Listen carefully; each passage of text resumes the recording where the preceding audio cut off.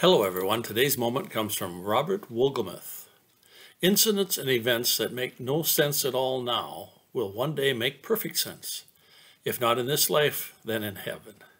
Thank you, and may God bless your day.